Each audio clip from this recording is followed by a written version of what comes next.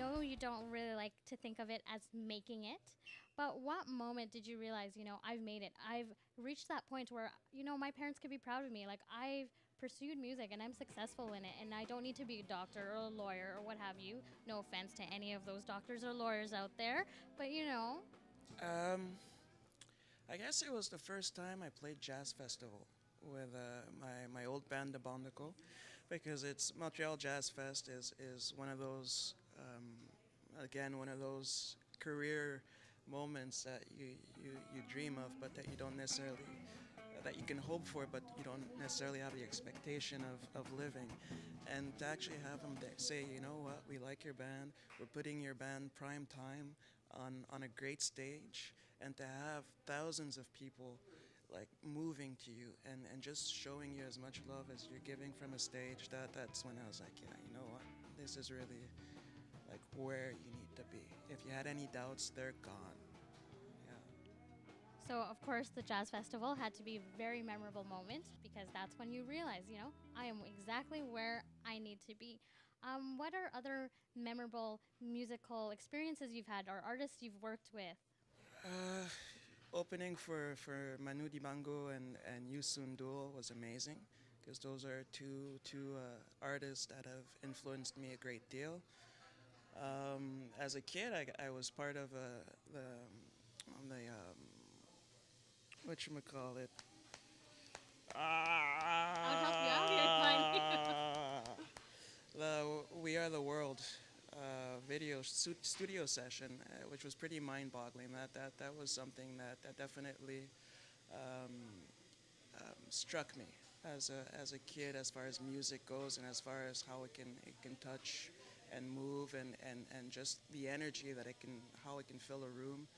Uh, my first concert outside the Simon and Garfunkel in Central Park. That was pretty amazing. It's it's a memory. One of my first memories actually like let alone musical just memories full stop but uh, as far as collaborating uh, recently I got I got a chance to share the stage with Kevin Breit which was an amazing um, um, discovery because we he's just a beautiful player and he's somebody that I didn't really know before but but just the exchange was magical um, and just everybody really that I've had a chance to, to, to, to meet, encounter, and, and play with, like Gern from and everybody from the Steelworkers has been a, an amazing encounter.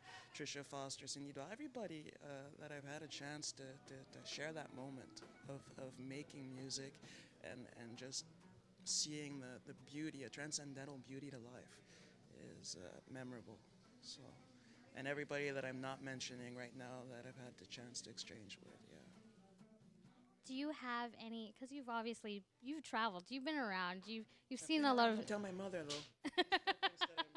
you, you've seen a you've seen a lot of shows. You know, you've you've seen a lot of shows. You performed a lot of places. You said you were at the We Are the World with as a kid, and um, like, do you have a dream gig or a dream location you would love to be at or perform at?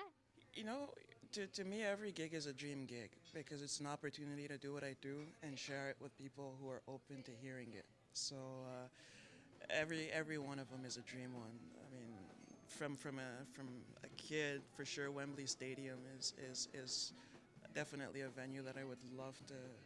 To, to set foot in and, and, and play. And it doesn't matter whether it's my project or somebody else's, just the history within those well, I'd, I'd, say walls, but it's outdoors, is, is pretty priceless. Um, and, and just anywhere, anywhere. I'd love to, to be able to play again in, in, Cameroon, or play in Cameroon, you know, and, and go back to the roots and, and, and share share what I do there, Brazil, I mean, anywhere really. Any stage to me is a dream location. Yeah. It could be your house even. um, speaking of dreams and, you know, dream locations and, you know, helping people get to their dreams with Jern F. You've Gern, sorry. Um, you've you know started Chick Pickin' Mondays in Montreal as singer songwriter showcase of female artists pretty much. Is there a reason why it's just females? Is there something a female can bring to songwriting that a male can't? Um, yes and no, I guess. I think every individual brings something to, to songwriting that the other one doesn't.